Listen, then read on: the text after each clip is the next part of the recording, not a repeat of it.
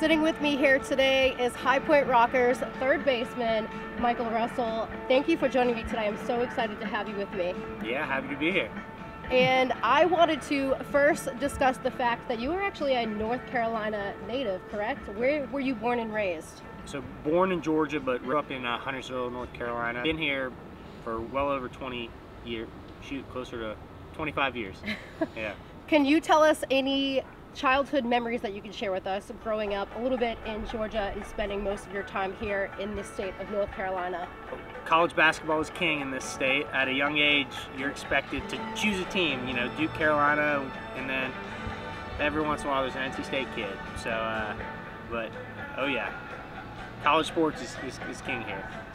I want to obviously discuss more about sports. This is a lifestyle sports podcast.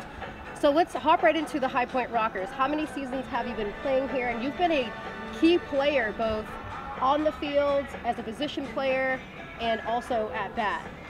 So this is my fourth season with the Rockers. I think, I think that's right. Yeah, this is my fourth season here. I don't know, it doesn't feel like it's been that long. It's been a blast so far. And you recently just hit a milestone stat, your 300th career hit. And I think that's the only time a Rockers player has done that. So let's discuss that. Did you know you were about to hit that stat?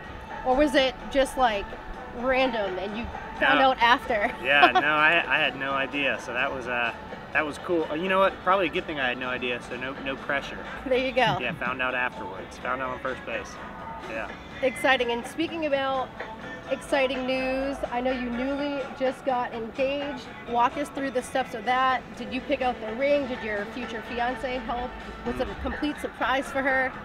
Well, we'll start with uh, she earned it. She was here for all 300 hits. So Good she- to you know. She's been with me since I started playing for the Rockers. So she's got four seasons of, of baseball under her. You know that that's earning that's earning it in this uh, life.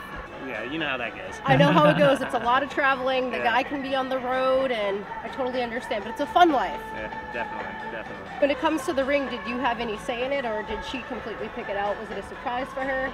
I let her expertise, you know, I let her kind of.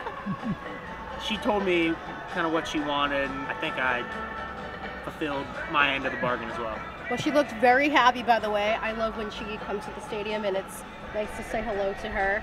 Speaking of the engagement, have you guys started the wedding planning at all? Can you share a little bit of details? I know it's probably too early to talk about it, but Oof. have you picked out a venue? Have you Uh, looked at the tuxes? Yeah, so I'm I'm doing most of uh, the planning as as it goes. Know, Nice.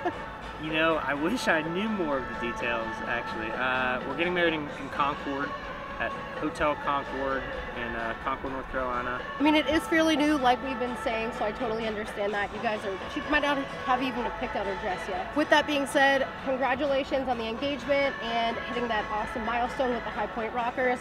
Last and final question What do you hope to expect with the Rockers this season? I know we are five or six games in right now, and we are coming off an amazing run. In 2022, we were the South Divisional champions. Yeah, you know, we're off to a good start. Last year we went to the championship. I think the only thing this year would be to, you know, win that championship. so I think that's got to be the goal, and uh, we have the players to do it. Thank you very much.